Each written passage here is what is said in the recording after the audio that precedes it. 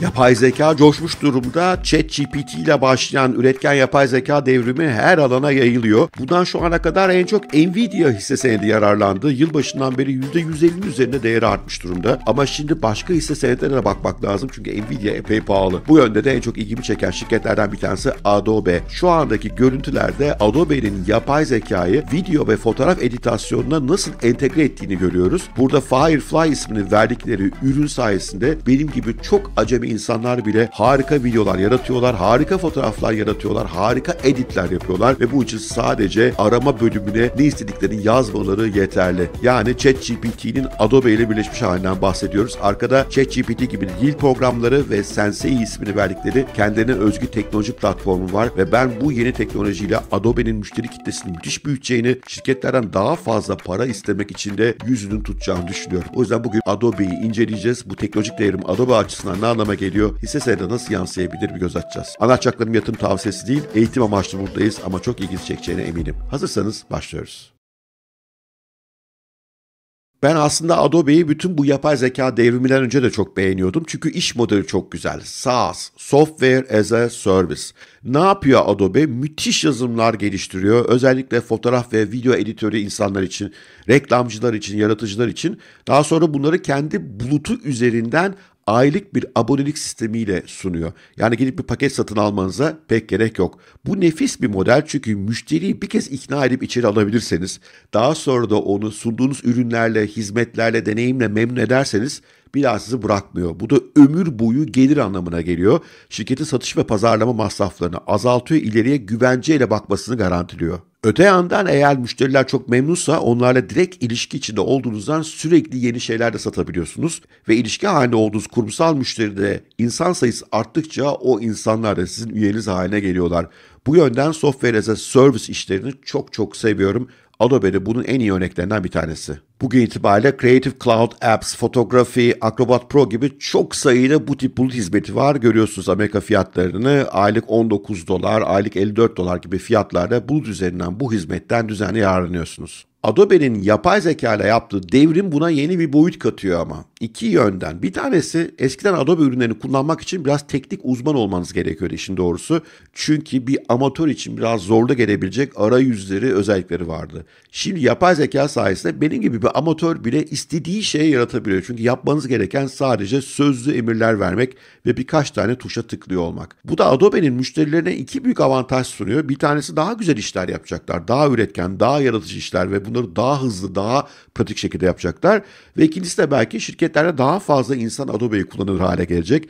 Daha evvel Adobe'li hiç işi olmayan insanlar bile Adobe ile basit ufak tefek bir iki editasyonla kendi müşterileri için ürünler, hizmetler, tanıtımlar, reklamlar yaratıyor olacaklar. Bundan dolayı Adobe'nin burada yeni bir büyüme ivmesi yakalayacağını düşünüyorum. Hem mevcut müşterilerinde hem de daha evvel hiç Adobe ile ilişkisi olmayan yeni müşterilerde bu kullanım kolaylığından, bu pratiklikten dolayı. Yapay zeka devreye girmeden de Adobe'nin gelirlerinde bu üyelik modelinin çok önemli payı var. Görüyorsunuz ürün satışları, hizmet satışlarının çok küçük payı var. Her şey neredeyse abonelik hizmetlerinden geliyor. Bundan dolayı Adobe'ye bayılıyorum. Çünkü buradaki kar marjları çok yüksek olabiliyor. Görüyorsunuz üyelik sisteminden son çeyrekte 4 milyar 517 milyon dolar gelir elde etmiş. Bu servislerde satılan malın maliyeti sadece 436 milyon dolar, %90 civarı bir karlık var. Adobe yeni teknolojisiyle beraber partner ağını da geliştiriyor. Yani Google'un yapay zeka platformu ve bizim ChatGPT'nin rakibi olan Bard'la birleşiyor mesela.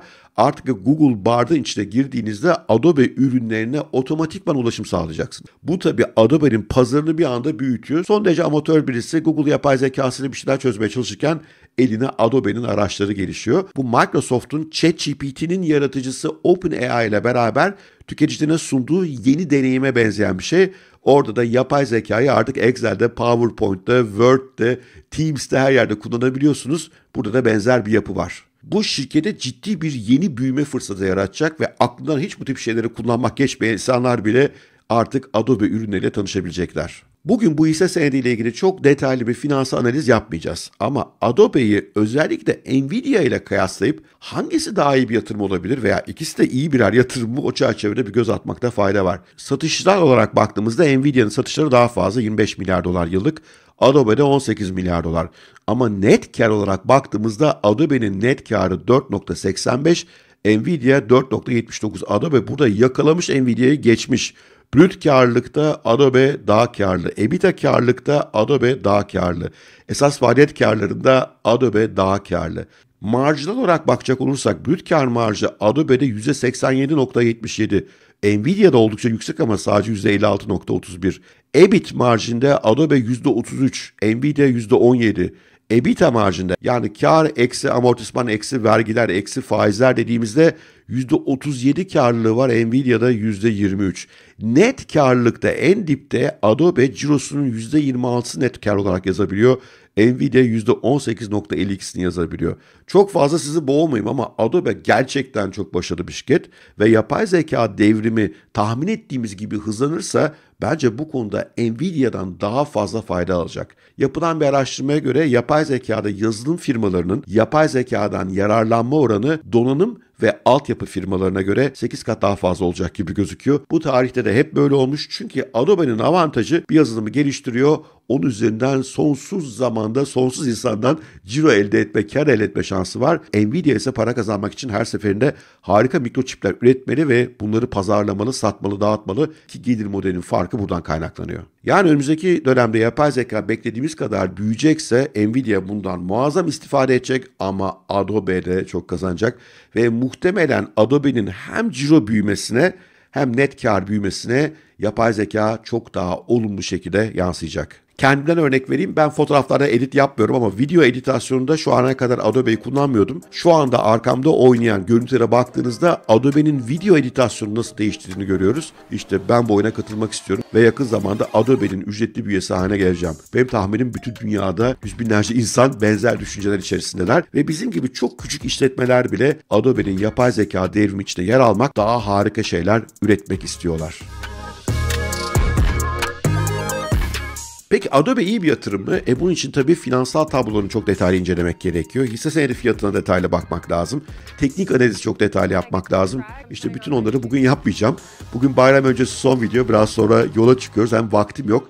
Bir de o içerikler katıl üyelerimize özeller. Siz de henüz katılmadıysanız hemen aşağıda tuş var. Oraya tıklayın. Oldukça düşük fiyatlarla bugünün enflasyonunda katıl üyemiz olabiliyorsunuz ve şirketlerin detaylı incelemelerini hem finansal hem teknolojik hem rekabet hem pazar konusundaki detaylı değerlendirmeleri izleyebiliyorsunuz. Şu ana kadar Tesla, Palantir, Nvidia, Apple, Rivian, CrowdStrike, Rocket Lab, Marathon, Coinbase, Alibaba, UiPath, Unity, Enphase ve Intel'i detaylı inceledik. Hepsinde de oldukça başarılı olduk. Hisselerin değerleri de arttı. Bu tabi biraz pazarın genel koşullarıyla ilgili. Ama uzun vadeli bir yatırım olarak ne kadar pırıl pırıl şirketler olduğunda sevgili takipçilerimiz gördüler. Siz de diliyorsanız hemen YouTube katıl üyeleri arasına gelin. An itibariyle 730 üyeye ulaşmış durumdayız. 1000 üyeye ulaştığımız anda daha var birkaç kez belirtmiştim.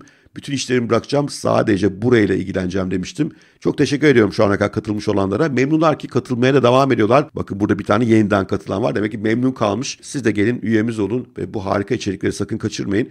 Sizleri daha iyi yatırımcı olmak konusunda, geleceği daha iyi okumak konusunda eğitmeye çalışıyorum. Bu vesileyle herkese harika bir bayram diliyorum. Videolarımı mümkün olduğunca yapmaya çalışacağım. Tatil koşulları içerisinde teknoloji ve internet ne kadar izin veriyorsa ve sizlerle bu hafta borsa değer nereye gidiyor konusu takip edeceğiz. Ben bu hafta için çok olumluyum çünkü Amerika Birleşik Devletleri'nde ikinci çeyreğin kapanış dönemine geliyoruz. Şu ana kadarki yükselişi gören pek çok fon yöneticisinin bu yükselişin dışında artık kalmak istemediğini ve bundan dolayı bu son haftada bilançolarına biraz daha hisse senedi katacaklarını düşünüyorum. Ama tabii emin olmak zor. Bu sadece bir öngörü. Bu çerçevede neler oluyor neler bitiyor hafta boyunca sizlerle paylaşacağım. Sevgiyle kalın, hoşçakalın. Görüşmek üzere.